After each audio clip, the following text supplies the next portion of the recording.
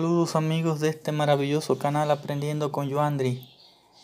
En el día de hoy le traigo eh, un video muy interesante. Les voy a enseñar cómo con cero pesos de inversión vamos a poder desparasitar a La solución que le traigo en el día de hoy es a partir de una planta eh, muy común que hay en gran eh, parte de los países y esta planta, como ven ahí y le estoy mostrando las imágenes, se llama la verdolaga, su nombre científico Portacula olosácea.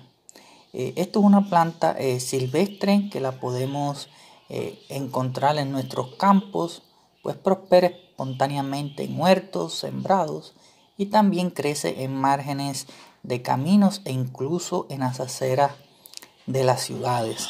Algo muy importante que fue esta planta fue muy popular en el Imperio Romano y hoy en día puede encontrarse en muchos países y, es una planta eh, muy poco exigente y crece en tierras poco fértiles.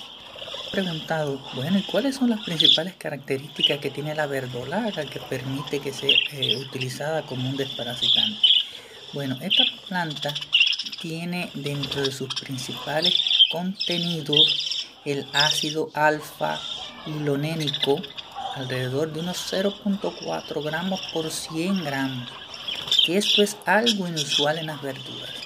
Este ácido graso es transformado parcialmente y los ácidos grasos omega 3 que reducen eh, elementos como mulícigas, vitaminas, especialmente interviene en el aumento de la vitamina A, C y E y sales minerales, especialmente el potasio, magnesio, hierro y calcio.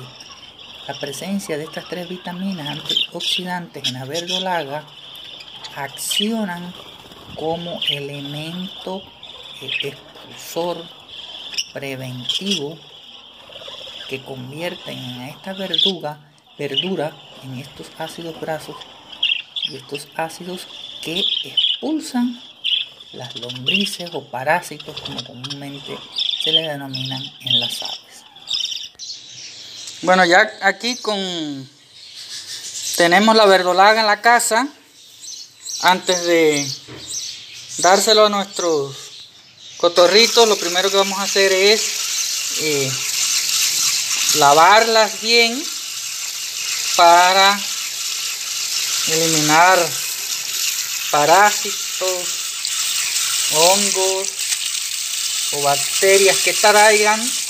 Y además, bueno, sabemos que como son plantas que están en un medio natural, también está todo el polvo que hay en el, medio ambiente. Por eso le aconsejo que, que las laven bien antes de eh, dársela a las aves.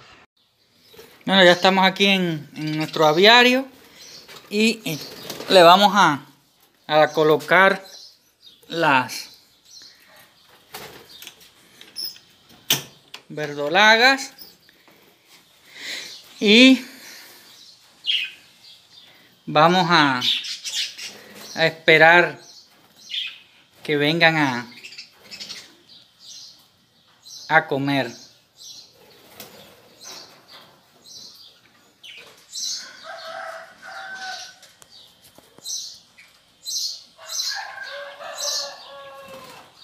Miren, y ahí podemos ver, miren cómo, cómo están comiendo.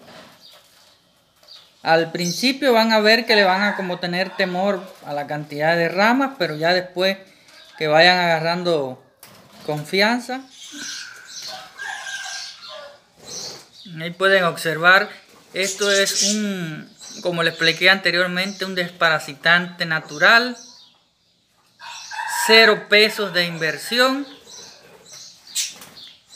algo ecológico que no le va a hacer daño a la salud.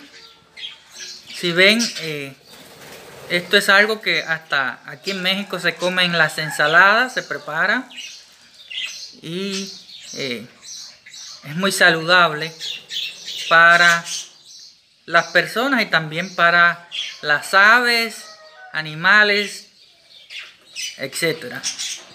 Mírenlas ya todos como están.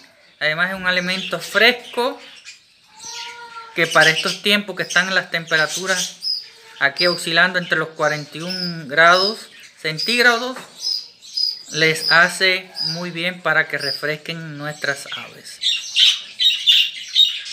Dudas, comentarios.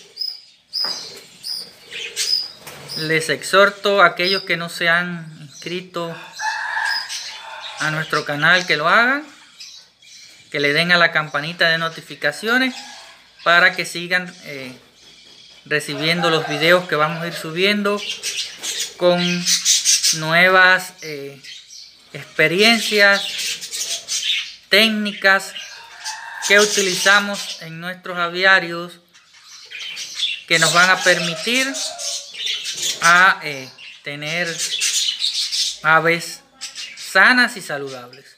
Un saludo y que tengan un excelente día.